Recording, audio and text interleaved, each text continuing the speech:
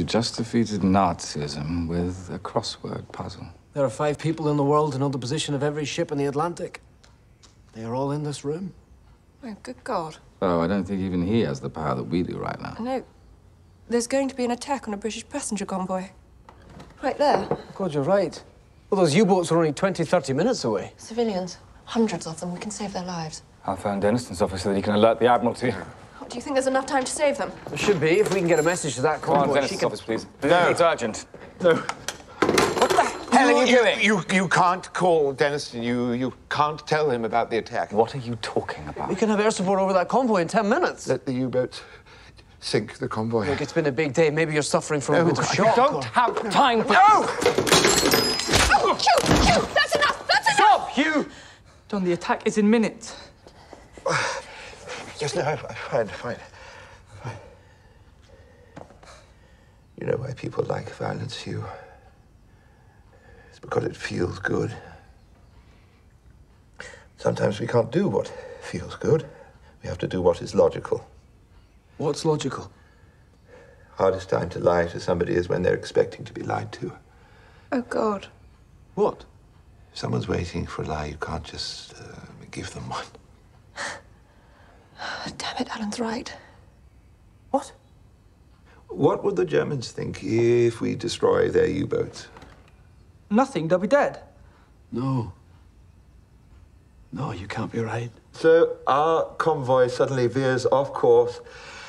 A squadron of RAF bombers miraculously descends on the coordinates of the U-boats.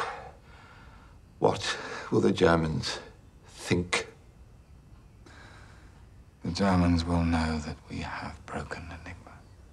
They'll stop all radio communications by midday, and they'll have changed the design of Enigma by the weekend. Yes. Two years' work. Everything that we've done here will all be for nothing. There are 500 civilians in that convoy. Women. Children. We're about to let them die. Our job i- is not to save one passenger convoy, it is to win the war. Our job was to crack Enigma. Well, we've done that. Now for the hard part. Keeping it a secret. Carla, What? the convoy you're about to, it's uh, the HMS Carlisle is one of the ships. We can't act on every piece of intelligence. Fine, we won't. Just this one. Peter, what's the matter with you?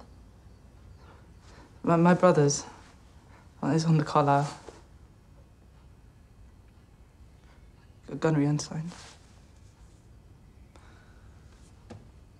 I'm so sorry. How do you think you are?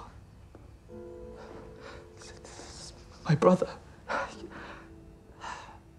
Is my big brother all right? And you have a few minutes to call off his murder. We can't. He's right. Alan. Joan. You. John. Ah, please, I. The, the Germans, they won't get suspicious just because we stop one attack. No one will know. I, I'm asking you, as your friend. Please. So sorry. Not God, Alan. You don't get to decide who lives and who dies. Yes, we do. Why? Because no one else can.